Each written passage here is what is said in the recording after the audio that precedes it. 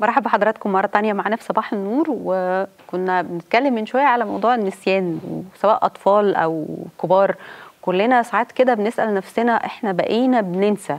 هل إحنا بنعمل حاجات غلط؟ بناكل بشكل معين؟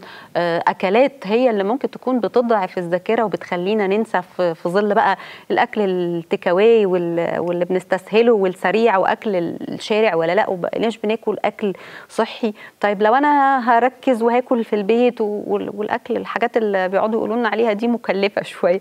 فإيه الحاجات البسيطة اللي أنا ممكن آكلها وتساعد إن ذاكرتي تبقى دايما نشيطة وإني أركز أكتر وإني أفتكر. يعني تعالوا نشوف هل ممكن الأكل يساعد في ده ولا لا؟ بيساعدنا وشرفنا جدا أستاذ دكتور محمد مسعود المدير التنفيذي لمركز معلومات الأمن الغذائي. صباح الفل يا دكتور. صباح الخير على حضرتك. صباح الخير نورنا جدا. يا دكتور. أهلا بيك يا فندم. يعني سؤال في البداية دور الأكل الحاجات اللي بتدخل بقنا دي كل واحد بيحب بقى اللي يحبه بقى اللي بيحب الطواجن واللي بيحب العيش الكتير واللي بيحب الرز اللي مش عارف إيه واللي بيحب كل واحد فينا بيحب أكل آه الأكلات ودورها في إن هي تؤثر على صحتنا وذاكرتنا. صح. الأكل هو العناصر الغذائية اللي بتغذي مراكز الذاكرة أو بتغذي المخ. فلو المخ ما بيحصلوش تغذية أو بتأثر على ال neurotransmitter النواقل العصبية هي دي اللي بتعمل مشكلة وبتخلي الذاكرة تبتدي تقل أو ال memory نفسها ما تبقاش عندها ال capacity أو السعة إن تستوعب المعلومات أو إن الطالب يبقى قاعد في حالة خمول. طب أقول لحضرتك على حاجة. زمان وإحنا صغيرين كان يقولوا لنا إيه؟ الواد ده واكل فول. على أساس إن الفول بي بي بي بي بيخلي لا لا أنا محتاج إن أنا؟ أصلح بقى المعلومة. آه أيوه أنا أنا محتاج أصلح المعلومة دي. أيوه اتفضل. أول حاجة المخ الوظائف تحسين المخ المخ محتاج إيه؟ محتاج أكسجين هياخده من الهواء محتاج مية ومحتاج جلوكوز من الأكل. أنا هقول بس الدور اللي بيحتاجه المخ. طيب أنا لو في طفل لو في طفل عنده أنيميا إيه دور الأنيميا؟ إنه يخلي الطفل ده كسلان ومش الرت مش يقظ وما بيستوعبش. دي فعلا أحد العوامل الرئيسية المهمة جدا إن الطفل اللي عنده أنيميا ما بيستوعبش. عشان ما فيش العناصر الغذائية مش لأن المطلوبه للمخ لأن ال- الأكسجين الأكسجين. بيتحمل في كرات الدم الحمراء على الهيموجلوبين. فلو عنده نقص حديد مفيش هيموجلوبين وبالتالي كمية الأكسجين ما بتوصلش كمية كافية ما بتوصلش للمخ كمية الأكسجين الكافية بينام عدد ساعات أكتر من 8 ساعات فبيبقى في حالة خمول فبيخش فالطفل اللي عنده أنيميا نتيجة إما نقص الحديد أو عنده parasitic infection طفيليات أو أي حاجة بتمص الحديد اللي حتى لو كان بياخد حديد بكمية وبيستفيد منها بس ما بيستفيدش منها داخل جسمه لأنه عنده طفيليات أو عنده أمراض تانية بتؤدي يعني. أنا لو عملت لابني تحليل ولقيته ناق- ناقص عنده حديد يبقى غالبا هو مش بيركز في المدرسة ده 100% آه ليه؟ لأنه بيبقى تعبان تعبان وعنده كسل وبينام بمعدل أكتر من 8 ساعات فبيروح هناك ما بيبقاش يقظ عاوز ينام. بس إحنا ساعات ما بنعرفش إنها أنيميا وبنتهم الولاد بإنه آه، يا إما آه، غبي آه، ما بيركزش زي أصحابه ب- بلوم لكن هو في سبب. ده سبب. السبب التاني السمنة. آه. طب السمنة طب نعمل إيه؟ عشان كده قلنا بناكل الأسماك الدهنية السردين والسلمون والبوري والحاجات دي الأسماك دي ليه؟ لأن الأوميجا 3 اللي فيها بتساعد النواقل العصبية ما بتخليش فيه ترسب للدهون فما بتخليش فيه بتخلي فيه سرعة تدفق للدورة الدموية داخل المخ. يعني اختار السمك مش أي سمك أكله. السمك الأسماك الدهنية. السمك الدهنية. الأسماك الدهنية. عشان نركز عشان نشتري الدهون إيه اللي بس؟ فيها فيها أوميجا 3 الأوميجا هي طبعا مش أوميجا 3 أنا مش عاوز بس أتوسع في في الموضوع لأن مش أوميجا 3 اللي بتلعب دور لوحدها. الأوميجا 3 أوميجا 6 واوميجا 9 3 و6 و9 بس أنا يهمني أوميجا 3 ليه؟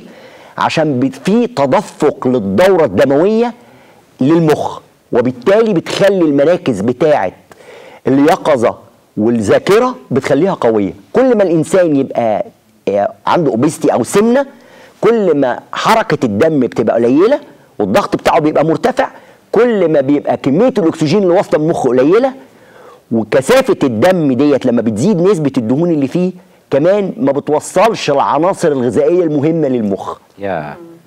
إحنا اتكلمنا عن الأنيميا واتكلمنا عن السمنة. نتكلم عن عناصر ثالثه أنا هوضحها وهقول إيه الدور اللي بيلعبه اتفضل اتفضل. مهم جدا إن إحنا نبقى عارفين إن بعض التعرض للملوثات اللي خارج بره أو في الأكل اللي إحنا بناكله ده عامل مهم جدا جدا. وبلفت النظر ليه. في القناة المحترمة بتاعتكم إيه هي؟ وجود عنصر الألومنيوم. طب عنصر الالومنيوم ده موجود في إيه بقى بيترسب في جزء من المخ اللي فيه الذاكرة وهو ده اللي بيؤدي لوجود زهايمر عنصر الالومنيوم طب ده يجي بيجي من إيه يا؟ دكتور؟ يجي من إيه كل الأواني الالومنيوم اللي إحنا بنعملها حتى استخدام الالومنيوم فويل اللي إحنا بنغطي بيه الأكل وبندخله جوه الفرن. أنا بدي تحذير لأن أوبا. في كتير جدا حتى من الناس المتعلمة ما عندهمش فكرة هو في الالومنيوم ده بيبقى ليه تركيب معين مم. بس إحنا بنضر بصحة الأطفال وصحة الشباب في مرحلة النمو دكتور ال... إحنا عندنا في والشاي. أواني لا لا استنى بقى واحدة واحدة واحدة. واحدة ده إحنا واحدة لا ده لسه ما الالومنيوم أنا بتكلم على الالومنيوم والشاي لا أنا بتكلم مش دلوقتي اللي بي... الأكل اللي بنعمله للولاد في ناس عندها أصلا الحلل أو. الأواني بعمل الومنيوم okay. وفي حاجات بتبقى عليها طبقة وأول ما بتتشال وبتبقى متجرحة بكمل فيها فاللي تحت ده. الومنيوم هي عشان. دي heavy metals ومعادن تقيلة. يعني الاثنين غلط ولا؟ الاتنين غلط لازم نستخدم. آه. يا إما حاجات إزاز أو stainless steel ودي طبعا غالية جدا. أيوه. أو نستخدم الحاجات اللي هي كان بيستخدموا فخ- فخار بس مش glazed ما بيبقاش عليه ألوان. بس ال- الحلل الستانلس دي عادية ما فيهاش مشكلة. ده مفيدة جدا. ما بيحصلش تفاعل ما بين الغذاء وال... والحلة. آه. لكن اي, أي حاجة الومنيوم دي فيها مشكلة كبيرة جدا. بالظبط. نيجي بقى طب الالومنيوم موجود فين في الأكل؟ آه. في أوراق الشاي العنق اللي ما بين الورقة والساق. عشان كده أنواع الشاي الرديئة بيتركز عنصر الألومنيوم في العنق بتاع ورقة الشاي. فلما بييجوا يبيعوا الشاي بيبقى درجات. أكتر استهلاك للناس بتستهلك كمية شاي وبتحب بعض الأسر بتفضل. بلاش بتحب. بتفضل بعض الأسر ان تدي كوباية شاي بلبن الصبح للطفل قبل ما ينزل أيوة. أو للشاب قبل ما ينزل صح أو للناضج قبل ما ينزل ده غلط. طب ده مش هي بقى في حاجة لازم نعرف إن الأنيميا بتيجي من الشاي السادة أو الشاي اللي باللبن أو الشاي اللي بالقرنفل ده إحنا بنحط اللبن عشان ما أنا هقول لحضرتك. بس الشاي ده عشان فوائد. فليفرز آه. ده أيوة. علشان الطعم التلات أنا عامل أبحاث على المواضيع دي مش أيوة. بتكلم مجرد لا, لا، أنا عامل أبحاث فعلا ومقرره بالنا. هيفرق الشاي بباكت ولا من غير باكت لا شاي بباكت أو من غير باكت عشان الباكت بتبقى متعاملة بمادة الكلورين عشان تدي الباكت دي تبقى كده ودي مادة ضارة بالصحه يا ساتر يعني عشان كده معظم الناس دلوقتي تاخد الباكت. وتفكه وتحطه جوه. آه شاي الباكت دي عبوة ده عبوة عشان تحفظ بس المادة لكن مش المفروض إن أنا أحطها. طب رجعنا الشاي باللبن بقى يا دكتور. الشاي باللبن. أيوه. أو الشاي الساده أيوة. الاثنين كسرهم فيهم تنك أسيد والتنك أسيد بيرتبط بالحديد والكالسيوم والزنك اللي بيؤدوا لوجود عدم الفهم والزهايمر والتخلف والأنيميا. الشاي. الشاي. يا ساتر. كده ده الشاي. الشاي اللي طبعا مش هنقول إن إحنا بنشرب فنجان واحد. أيوه لا ده في الشباب دلوقتي بيشرب بياخد كل نص ساعة كوباية. بالظبط. آه. ويقول لك أنا مش هبقى يقظ. هو في هو في الكافيين. الشاي فيه كافيين ضعف اللي موجود في القهوة على عكس الناس ما بتعتقد آه، دايماً الكافيين إحنا اللي موجود في الشاي آه. ضعف اللي موجود في القهوة بس بنشوف إن القهوة أكتر. بتصحصح أكتر آه، ده حاجة نفسية نفسيا لأن هو كمان بيتناول القهوة كل نص ساعة بيقول له الفنجان بتاعي الفنجان بتاعي. طب القهوة فيها حاجة تضعف الذاكرة؟ لا. ولا ضرر الشاي أكتر فخل يعني لا في ده. إحنا بنتكلم على الكمية إن أنا بقى اكسيدنج بستهلك كمية أكبر من اللي المفروض إن أنا استخدمها لو هاخد كوباية واحدة مش مشكلة. لكن لو أنا عاوز أشرب شاي في أي وقت أيوة. بحيث ان ما يأثرش على صحة الطفل أو صحتي أنا كإنسان كبير سواء للرجال أو للنساء دي نحط عليه ليمون أو نعناع. هيرتبط. طب حلو الشاي بالنعناع خلاص نسميها عادة. وهو عود بنتكلم النعناع ده هيعمل إيه بقى دكتور يعني؟ صح؟ النعناع الفريش أو درايد أو نحطه على الشاي يبقى هيقلل من أو قللت ضرره. هيشيل الضرر بتاع إن هو يمط... يتفاعل مع الحديد والزنك والكالسيوم وما يبقاش ليه ضرر. ده لو أنا آه. محتاج إن أنا أشربه. نيجي لعناصر أخرى. بعض الأطفال أو بعض الشباب موجودين في مناطق بيبقى عرضة للتلوث. اللي هو إيه التلوث ده؟ تلوث من الجو تلوث من أماكن موجود فيها آه، دخان عربيات. ده بيبقى فيه عنصر رصاص. عنصر رصاص أيضا بيؤدي إلى التخلف. طب أنا عشان أكافحه لازم آكل أكل بطريقة معينة بحيث إن أنا أكافح هذه التلوث. طب التلوث ده بيعمل إيه؟ هي دي بقى النقطة اللي أنا جاي عشان أقول للناس مش مهم إن أنا أقول لهم كلوا بيض وسمك ولبن وسبانخ وبرتقان وتوت. كل العناصر دي والخضروات الورقية والسلطة كل العناصر دي مفيدة. بس أنا عاوز أقول ليه هي مفيدة؟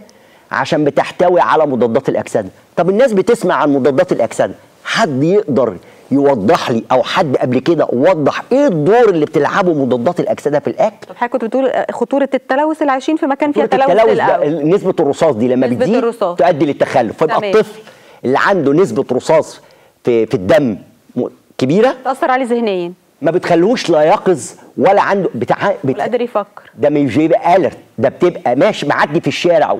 والعربية بتزمر له وهو مش مش يقظ يعني الناس اللي هي بعض المناطق الملوثة بكمية من الرصاص طب- طب- نتيجة الزراعات اللي فيها نتيجة اللي هي بتبقى على الطرف بتاع الطريق الدائري أو الحاجات اللي زي دي. آه صعبة جدا. فدي بتترسب عليها الرصاص كده أقول هو ماشي. متوه كده ليه؟ مش مراقب هو أصلا مش في الدنيا. الكلمة دي بسبب التلوث ال- والرصاص الرصاص. الدخان ال- الدخان الكتير بيعمل التلوث ده بيعمل مشاكل للأطفال وهم صغيرين. كلهم. امم يا ساتر. عشان كده إحنا لازم نمنع التلوث. فبنقول إن مش إحنا هنمنع التلوث أكل، إحنا مش هنقدر ننقل منا- مناطقنا اللي ساكنين يبقى فيها. ناكل. ناكل ناكل إيه بقى؟ أيوه هي دي بقى. ناكل. غير ناكل إيه؟ إحنا عاوزين الأول نقول إيه؟ الأكل اللي أنا بقوله ده يا أكل ملون يا سلطة يا خضروات يا برتقان فيه فيتامين سي. طماطم فيها ليكوبين. كل الحاجات دي عبارة عن مضادات الأكسدة. يعني إيه كلمة مضادات أكسدة؟ عشان هي دي. بقى اللي أنا آه. عاوز أوضح لل... للناس اللي بتشاهد البرنامج إيه أهمية الدور اللي بتلعبه مضادات الأكسدة عشان الناس لو استوعبته تقدر يقول لك أنا أنا محتاج ال- إن أنا آكل صح. اكل قول لنا يا دكتور. الخلية بيتخو... بتاخد الأكل كوقود للطاقة بتحرق الأكل جوه الخلية يتحرق الأكل جوه الخلية مع بيتحرق أكسجين جوه الخلية عشان يدي طاقة. امم وهو لما أول ما الأكل يتحرق والأكسجين جوه الخلية بيتحرق مش بيدي طاقة بيطلع atoms ذرات و molecules جزيئات وبيطلع free radical أو شوارد حرة. هي دي نتيجة الحرق بتاعت الأكل.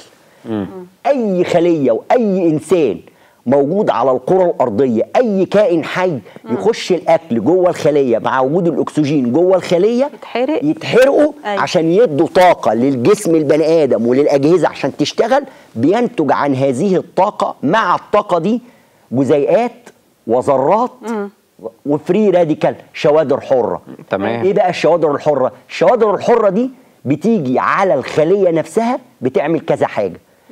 بتعمل طفرات في الخلية وبتخلي عدم قدرة الخلية على الاستجابة إن ياخدش مغذيات. أبقى أنا بديله أكل وهو عنده مشكلة. مش قادر يستقبل الأكل ده يستفاد الخلايا منه. نفسها ما بتاخدش المغذيات ما عندهاش القدرة. فبيبقى الجسم مريض آه. والجسم عنده خمول والجسم تعبان ويبقى قابليته للامراض السكر والسرطان دول اخ وأمراض القلب. الثلاثه دول نتيجة إن الخلية حصل لها damage حصل لها تلف. عشان كده ربنا خلق لنا المواد المضادة للأكسدة تيجي بقى ال free radical دي أو ال fragment اللي طالعة دي تقوم جاية هي ماسكاها. هي بيبقى فيها جزيء فيه الاثنين إلكترون حر. دي تقوم جاية ماسكة في الاثنين إلكترون الحر ما تخليهاش ترتبط مع مواد مواد تانية. دي عملية تعمل مواد مسرطنه آه. عملية ميكانيكية جدا يعني. عملية كيماوية. كيماوية. طب أنا عايز أسأل حضرتك شفت عرفت أهمية ال- المضادات. الأكسدة؟ شوقتني شوقتني. إيه هي مضادات الأكسدة؟ مضادات الأكسدة إيه هي بقى؟ آه. عندي فيتامين سي مضاد للأكسدة. عندي الليكوبين اللي في الطماطم مضاد للأكسدة.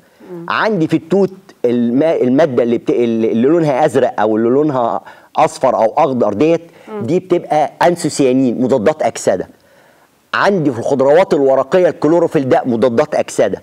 عندي البيتا كاروتين اللي موجود في الجزر مضادات أكسدة. شوف أنا بقول كل الكلام ده ليه؟ عشان نبقى عارفين إن وأنا باكل برتقال أو باخد جزر أو باخد أو ب- أو باكل خس أو باكل خيار.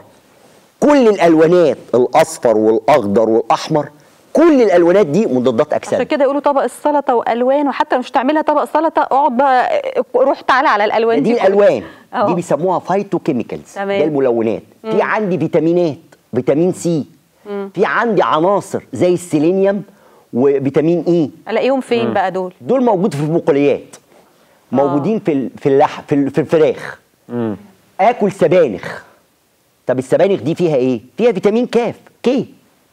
طب ده مهم لإيه؟ مهم جدا عشان بيؤدي إلى وجود مفيد جدا لصحة الدماغ. السبانخ. السبانخ. حديد السبانخ حديد هي السبانخ حديد. السبانخ ما تتاخدش بالطريقة اللي بتتعمل بيها اللي بيعملها الشعب المصري. طب قول لنا بقى يا دكتور هو ناكلها إزاي؟ السبانخ. آه. فيها كمية اوكزالات وفيها كمية حديد. مم. لما آجي آكل السبانخ وبتتعمل بالطماطم الطماطم فيها اوكزالات والسبانخ فيها اوكزالات بتمتص بتتفاعل مع الحديد اللي موجود في السبانخ فما بتخليش درجة استفادة عالية جدا من الحديد اللي موجود في السبانخ السبانخ ناكلها إزاي إزاي؟ ناكلها آه. تتسلق ونرمي مية السلق فخلصنا من الاوكزالات في مية السلق ونعصر عليها ليمونة ونبتدي ناكلها طب لو اتاكلت كورق من غير طبخ نية آه. فيها كمية الأوكزالات فيها ودي آه. صعبة الهضم هي بتتعمل سلطه بي- بيحب السبانخ أنا قصدي سلطة. كده قصدي كده إن في ناس.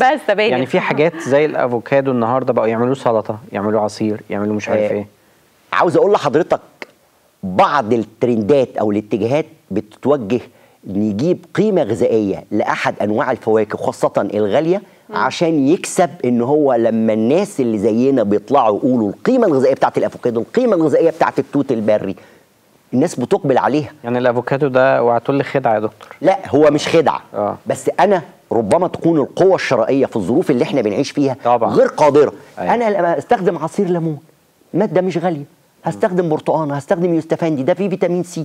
زي ما حضرتك قلت في البقوليات في حاجات زي ما في في الفراخ وفي اللحوم. أنا برضو في البقوليات هناخد هلاقي. هناخد البيض. بيض، آه. طب البيض فيه إيه؟ فيه فيتامين د. ده هيقلل الاكتئاب وفي نفس الوقت بيعمل على تحسين صحة الدماغ والمخ. البيض بيقلل الاكتئاب؟ عشان فيه فيتامين ده د كويس عشان ناكل بس ده كويس. بس مش بالطريقة اللي إحنا بنبتدي نستخدمها. بس وانت بتاكل البيض ما دايماً تفكريش في سعره عشان ما تقعديش تكتئبي. أقرر في حاجة. الدكتور قال واحدة كويس. لا حتى لو حتى لو بالطين. إحنا آه. بنتكلم بالنسبة ليكم كشباب لكن بنتكلم بالطريقة الطريقة اللي بتتعمل بيها. ما إحنا ممكن نقعد نقليه ونحطه في سمنة ونحطه في زيت وبنغير الاستراكشر أمال لا المسلوق؟ مسلوقه المسلوق. المسلوق افضل حلو المسلوق. كمان الصفار فيه فيتامين ب 6 وفيتامين ب 12 ودي مهمين جدا للجهاز العصبي. ده موجود في البيض. طب هاخد سمك. أفضل 100 مرة من إن أنا أقعد أتناول أدوية أو حاجات غالية الثمن وفي اعتقادي إن هي دي اللي هتمنع وت... طب أنا كنت الفيتامينات هسأل بتزيد حضرتك. ده من الفيتامينات أيوه. ده أيوة. حصريا بقى للحلقة بتاعتنا. آه ده ده, ده ده السؤال من المهم. الفيتامينات والأملاح المعدنية. من مصادر طب كمصادر طبية. في الكبسولات دي أيوة. أقل درجة استفادة من الفيتامينات والأملاح المعدنية الموجودة في الفاكهة والخضار الطبيعي. يعني اللي بياخد أوميجا 3 وفيتامين سي وكل الكلام ده كبسولات. باخد جزء بس الاوميجا س- يعني. الاوميجا 3 لا، بالذات أنا بعوض لو أنا ما قدرتش أحصل على كل الكمية. آه. لكن درجة الاستفادة تأتي من الخضار والفاكهة واللحوم والأسماك اللي أنا بتناولها. حد بيسأل حد- آه، لا اتفضل. اتفضل. بيسأل بيسألوا حضرتك بيقول لك ال- في أسر بيبقى في جزء منها كده ما بيحبوش السمك. أيوه. آه نغ- نغير على طول. نجيب إيه؟ بدايل إيه؟ البدايل بت... في بيض. آه حلو. في زيت العباد العادي في أوميجا 3 زيت العباد ال- ال- في زيت الحار في زيت الزيتون بس أنا مش عاوز أقول. الحار ده اللي هو زيت الكتان. زيت الكتان آه. من أعظم الزيوت اللي موجودة اللي اتخلقت على الكرة إحنا بنحبه. قوي ده على الفول وب... بس ما بيتأثرش بالحرارة لما نحطه على لا. الفول؟ زيت الزيتون والزيت الحار وزيت الذرة لا تستخدم إلا على البارد. عشان كده أنا ما غيرش تركيب الأحماض اللي فيه. الأحماض بنحطه على الفول الدهنيه الفول يعتبر بار يعني يعتبر لا ما خدوش وأسخنه. لا ما سخنوش لكن يعني ما اطلعه تقليش سخن ماشي. يعني ما تحطش فيه بيضة مثلا بعد ما تسخنه. تخلص ال- ال- ال- الفول وتسخنه يبقى حط عليه الزيت. حلو تمام. سواء كان زيت ال- الحار أو زيت الزيتون. الأطفال ما بيحبوش معظمهم. لا السلطة آه. ولا الخضار مش هقول لك الأسماك ولا حاجة الحاجات اللي هي دي وبنقعد نتخانق عشان طبق السلطة وعشان الخضار وأكل بره بقى بالنسبة لهم لو هياكل ساندوتش ده قمة السعادة اللي في طيب الحياة. في حاجات تانية بجانب التغذية آه. إن أنا لازم أراعيها. إيه بقى؟ لازم ينام عدد ساعات نوم كفاية. كام ساعة؟ من سبعة لثمان ساعات. البني آدم الطبيعي. لا الأطفال ممكن يوصل ل 10 ده لو هو مريض. إحنا بنتكلم ده. لا بيقولوا يعني الاطفال أطفال الافرج ال nor، ال normal مش- كام سبعة؟ لا لا الاطفال اللي؟ هم خمس ست سنين سبع سنين. ينام من سبعة لثمان ساعات. مم. مم. من ستة لثمان ساعات. على حسب في طبيعة بتبقى بتختلف من طفل طبعاً،. آه، طبعاً. دي نقطة. النقطة الثانية طب إيه أهمية النوم؟ إن المخ ما بيستريحش غير فترة النوم. والمخ بيرسخ المعلومات فترة اللي. ذاكرها في فترة النوم. بيسيف. يبقى النوم ده مهم. نشرب مية. أها. الجفاف بيؤدي لعدم وجود المغذيات انها توصل للدورة الدموية توصلها للمخ. كلمة مش عطشان دي ما نستسلمش ليها؟ دي يعني- كارثة. آه. دي كارثة. لازم نتعود نشرب كل شوية. حاجة صغيرة حتى لو مش عطشان. من المية من المصدر اللي خلقه ربنا مش من الشاي ولا القهوة ومن العصير المية تقلل قلتها تقلل التركيز. جدا. امم نيجي بقى للاسترس والخوف. عشان كده بنقول للطلبة لما يذاكروا من أول السنة غير ما غير لما. يذاكر وهو مضطر. كل ما هو بيخاف ومضطرب وقلقان وجعان وبردان مش هينسى. هتوصل المعلومات حتى لو كان بياخد قهوة وشاي حتى للطلبة بتوع الجامعات والطلبة بتوع ثانوي. بينسى. مش هيفتكر أي معلومة ويبتدي يتلخبط ويبتدي يضطرب. ليه؟ لأن الاضطراب بيعمل في مركز في المخ بيعمل له block.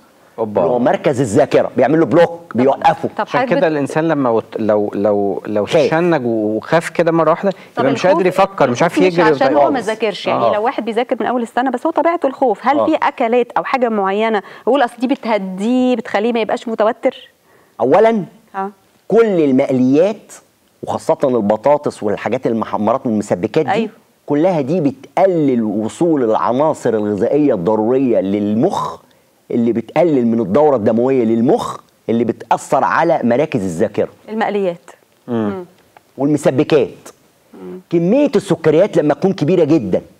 آه. في ناس كل معظم الأكل حتى لما ياكل أكل عادي بياخد كمية سكريات. السكريات الكتيرة جدا بتعمل دمج وتلف في الخلايا وخاصة اللي بتغذي المخ. امم يبقى قلنا كمية السكريات المقليات والمسبكات.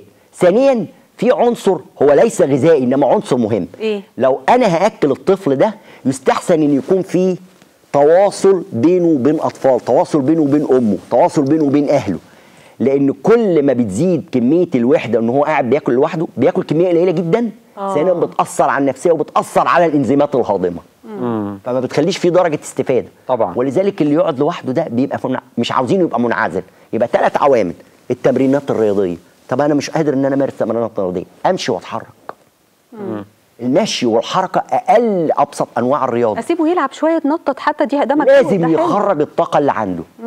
ولازم يغير من النفسية والتركيب آه. ومش لازم إن أنا كل شوية أقعد أقول لا ده هو عنده مشكلة ولازم أوصله للأخصائي الاجتماعي وإن المشكلة دي كبيرة جدا لأن نفسيا أنا لما أبقى أقعد أكرر له هذا الموضوع.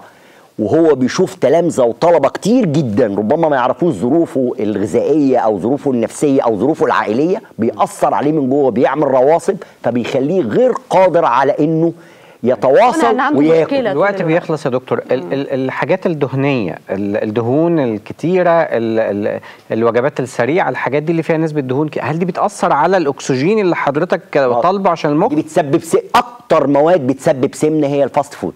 امم لأن دي دهون مشبعة. وكمان مش دهون مشبعة يا ريتها إنها دهون مشبعة بس دي بيجيبوا زيوت ويهدرجوها.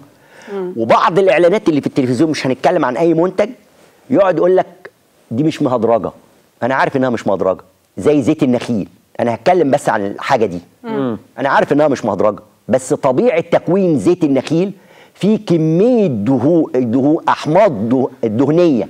مشبعة بكمية كبيرة جدا لدرجة إن هو على درجة حرارة الجو العادي جدا بيبقى عامل زي السمنة. معظم البسكويتات اللي موجودة في كلها السوق على معمولة الرف من palm آه، oil palm kernel oil زيوت النخيل. أيوة. أو إن بيخلطوا بقى. ودي الكارثة الكبرى.